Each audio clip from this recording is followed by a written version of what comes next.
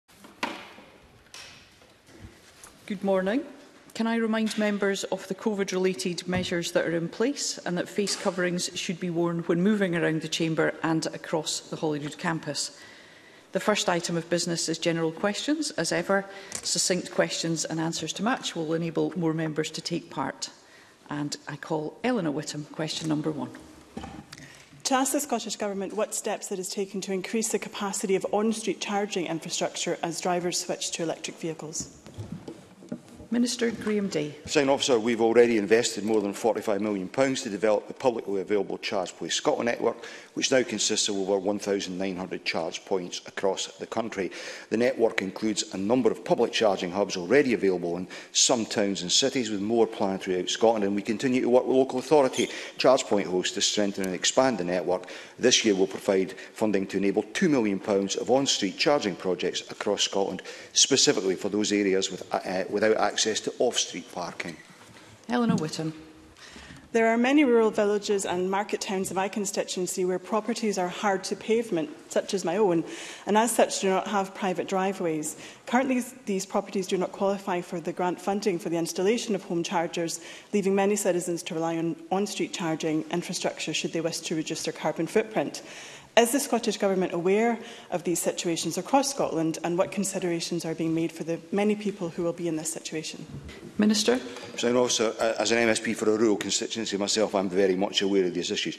And I hope Ms Whittam will take assurance from the fact that government officials are um, working with the South Ayrshire Council to support the installation of chargers that will provide for people without access to off-street charging in Strayton, Bar Hill uh, Daly and Mabel. Uh, the Scottish Government is also currently consulting on requirements for installing charge points in car parks of residential and non-residential buildings, which will further enhance access to electric vehicle charging across Scotland. Monica Lennon. Thank you, Presiding Officer. South Lanarkshire Council said it would install over 100 electrical vehicle charging points, but has cut this plan by 42%. And notwithstanding the challenges of the pandemic, a £1 million fleet of electric vehicles has barely left the council car park in a year, with charging being a big concern. So what can the Scottish Government do to help South Lanarkshire Council expand local charging networks and make people feel more confident about using electric vehicles? Minister. Uh, well, as the member will, will understand, um, any actions that South Lanarkshire Council have taken will be a matter for, for them uh, to defend and to explain. However, I, I, to answer her point about engagement with the Scottish Government, the Scottish Government is actively engaged with local authorities in seeking to encourage uh, this, and that is our direction of travel, and we expect local authorities to join us in that. Jackie Dunbar. Thank you. Um, I thank the Minister for his previous answer in regards to how many EV charging points are in Scotland. Um, can he expand on that a little bit and, uh, and tell us how much that is compared to the rest of the UK? Minister. Presiding officer, the most recent statistics show that Scotland has over 2,500 publicly available chargers, which represent 47 chargers per 100,000 of the population, compared to 36 chargers per 100,000 of the population for the whole of the UK. Importantly, within this, Scotland has the highest proportion of rapid chargers and is well ahead of the rest of the UK, with 12 per 100,000 compared to a UK average of 6.8 per 100,000. But of course, There is much more to do because the uptake of electrical vehicles is showing a welcome increase. Question number two, Liam Kerr. Thank you, Presiding Officer. To ask the Scottish Government what its response is to recent research which suggests that chain stores in Scotland closed at a rate of 30 per week during the first six months of 2021. Minister Tom Arthur. We understand the difficulties faced by Scotland's retail industry as a result of the global pandemic. In recognition of that, the Scottish Government has provided businesses with more than £4.3 billion in support since the start of the pandemic. We continue to support the retail sector and other businesses as we rebuild the economy following the pandemic, including through the work of the Retail Strategy, the Town Centre Review and City Centre Recovery Task Force, as well as the Scotland Loves Local £10 million multi-year support programme. Liam Kerr. The Centre for Cities report says Aberdeen has the UK's fourth lowest high street spend and around 90 units currently lie empty. Now, RGU and Aberdeen Inspired suggest reasons for this include the business rates and the overheads, and others point to how slowly the SNP got COVID relief out the door. Aberdeen Council has a master plan, but the reinstatement of 100% business rates in six months' time is casting a long shadow. So what plans does the Minister have to introduce a fairer business rate system and restore a level playing field with England on the higher property rate? Minister. Um, as the member will be aware, um, in Scotland we have the most generous package of rates relief anywhere in the UK. Indeed, we were the only part of the UK to give full NDR relief for hospitality, leisure, aviation and retail. And that was an investment of over £700 million. Now, as a member will appreciate, decisions around NDR will be taken as part of the budget process. But I very much look forward to his constructive and informed contribution to that process later this year. Question number three, Bill Kidd. Thank you very much, President Officer. Um, to ask the Scottish Government if there are timescales and numbers of units um, for the rollout of electric vehicle charging sites across Scotland. Minister Graham Day. There's a, a presiding officer, there's a wide range of factors that influence and ultimately determine the types, numbers and timescales for the rollout of electric charging infrastructure.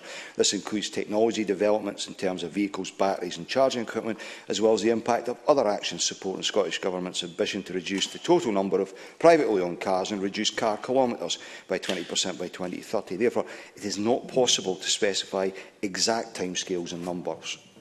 Bill Kidd. Well, I thank the Minister for that response. Electric charging will um, obviously become an increasingly essential part of our infrastructure, and I know that Charge Place Scotland network is supported by the Scottish Government and Transport Scotland. Will the cost of charging be determined by government or market conditions, and has the government discussed what action can be taken to ensure the cost of electric charging is maintained at an affordable rate? Minister. President Officer, Bill Kidd raises a critical point. If the switch to electric vehicles is to work for all of our population, then people need to be able to afford to do that. Currently, tariffs are set by charge point owners to cover the cost of electricity provided, as well as maintaining and growing the network. And there are other private networks operating in Scotland that charge on a commercial basis. But regardless of the source of investment, this government is committed to delivering a charging network that works for all of Scotland all the time. So we are continuing to engage with charging providers, energy network companies and regu regulators to ensure the charging network is affordable. Question number four, Colin Smith. Thank you, President Officer. To ask the Scottish Government when it will implement Part 3 of the Transport Scotland Act 2019 to allow local authorities to bring forward proposals to directly run bus services in their area. Minister Graham Day. President, President Officer, as I outlined in my letter to all members in June, work to implement Part 3 uh, eh, of the Act resumed earlier this year following a pause necessitated by the pandemic. We're consulting currently uh, to help inform the development of the necessary second legislation and guidance. The consultation closes on the 6th of October and I would of course encourage all interested parties, if they've not already done so, to feed into this process. Colin Smith. Thank you, President Officer. The Minister will know that it's more than two years since I proposed an amendment to the Transport Bill to lift that historic ban on councils directly running bus services or, or establishing municipal bus companies. So, so can he give us a timescale when he expects those powers to actually come into force? Because councils do want to get on with the job of delivering bus services to their community and will also ensure direct funding is made available to councils to enable them to use those powers, including capital and revenue start-up costs. Minister. President Officer, let me begin by recognising the constructive way in which Colin Smith engaged in the Transport Bill and those provisions. Um, he's asking for a timetable. In essence, we would expect to have the findings of the consultation available to us towards the end of the year. And I offer him um, uh, this assurance that we will look to move on this as quickly as possible because, like him, I see this as a, a real priority. In terms of funding, as he knows, we've committed to establishing the Community Bus Fund for this purpose and others. And as we see the outcome of the recommendations from the consultation, we'll be able to, to move forward on that also. And I'm happy to work with him on this moving forward. Graham Simpson.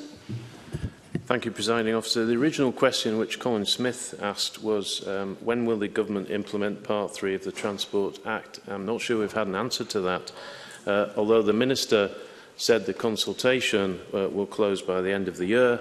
Um, can he actually give an answer to the original question uh, when he anticipates uh, this uh, part, part 3 of the Transport Act being implemented?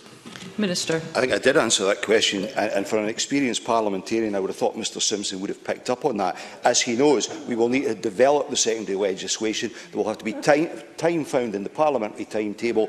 The committee will want to scrutinise it, and I would anticipate it being done as quickly as it is possible to do that. Question number five, Tess White.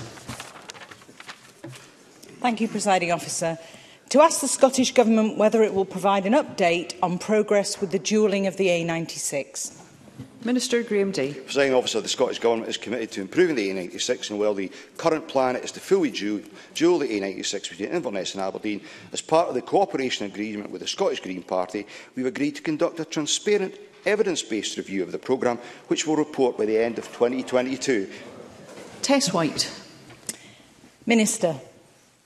Police Scotland data shows 195 people in the last three years in the North East have been involved in a crash, with at least one fatality. Despite the review currently underway and despite the safety concerns of local communities and despite what you've just said now, Green MSP Maggie Chapman believes, and I quote, it will not be viable to fully dual the A96 route Can you please say, do you agree or not agree with Green MSP Maggie Chapman? Minister. Presiding Officer, uh, Maggie Chapman, like any other MSP in this chamber, is entitled to their view. As a minister in this government, I am committed to the review process. The review process will determine how we take this forward. But I want to go back to the start of that question, because if the, uh, the inference was that somehow safety concerns along this route would be ignored, that is reprehensible and it is untrue. Well Fergus Ewing. thank you. Thank you, presiding officer. Um, the traffic congestion experienced in Nairn by the local residents can be as bad as that experienced in Glasgow or Edinburgh, except that in Nairn there is only one road uh, for citizens to use, namely the A96, which goes through the town. It, delays of up to an hour can be experienced to get from one end of the town to the other during the tourism season. Therefore, can I ask the Minister, will he approve and commence the initiation of the tender process for the delivery of the preferred route agreed uh, of the dueling of the A9 between Inverness and Aldern, including the Nairn bypass? And will he accept my invitation as the constituency member to come and meet local people to hear for himself the strength of views and feelings on this matter. Minister. Uh, I'm happy to commit to such a visit, although I'm not in any way unaware of the strength of the views, given the many conversations I've had with Mr Ewing, who's a strong advocate for this. And I'm sure the member will very much welcome the fact that what is committed, regardless to on the A96, includes the bypassing and the, and the dueling if I remember Nesta Ryan. But as a former minister, Mr Ewing knows there are processes around such projects uh, which have to be followed. That said, I give him the assurance we will move as quickly as we can to progress this work. Question number six, Julian Martin. Thank you, President Officer. To ask the Scottish Government how it will support young people to find rewarding and sustainable employment. Minister Jamie Hepburn. The Scottish Government is taking forward a range of actions to support young people to achieve their potential.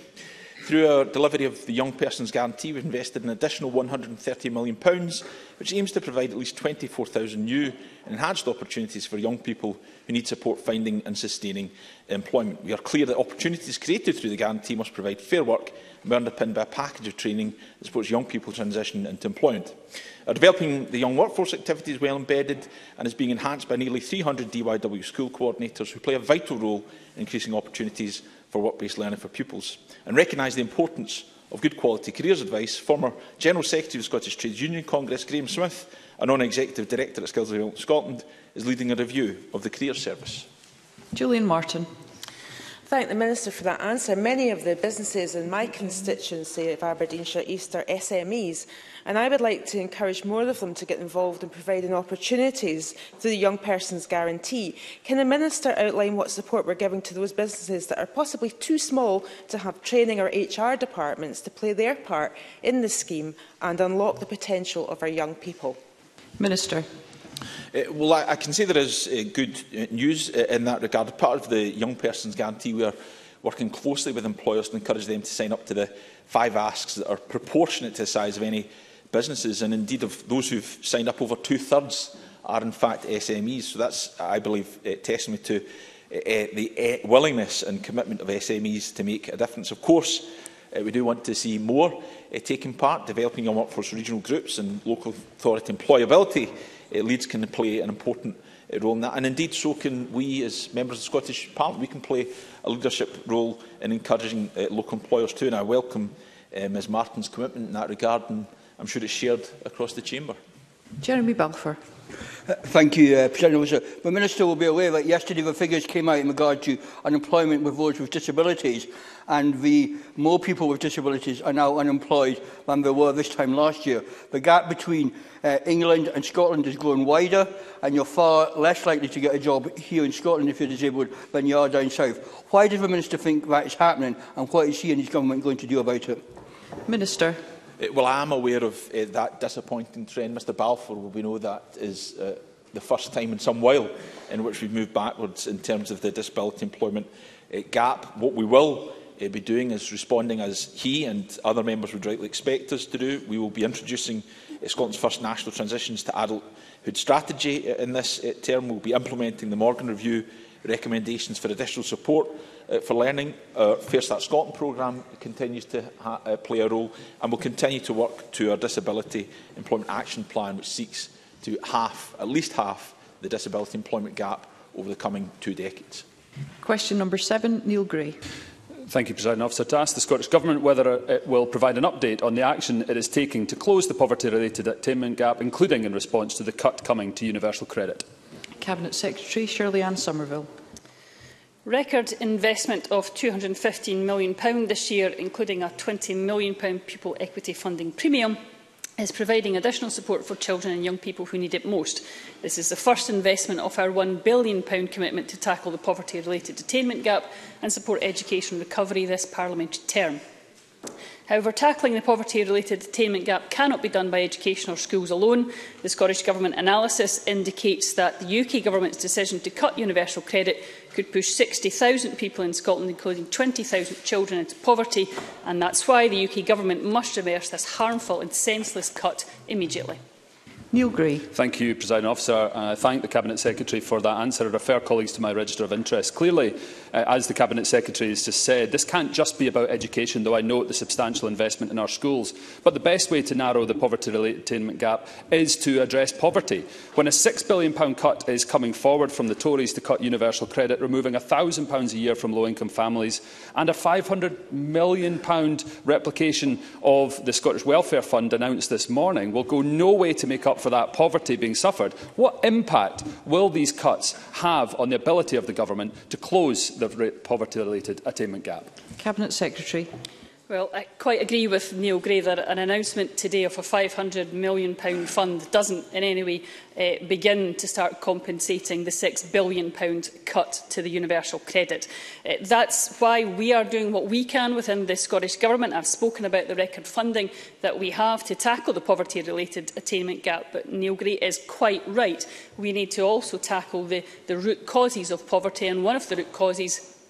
is a fundamentally different way that the UK government has a social security system which seems to punish those uh, of our most poorest in our society. And given the votes in the universal credit debate this week, I think that is also a view shared by the Scottish Tories, which is exceptionally disappointing. We will continue to do what we can within the Scottish Government to support our people.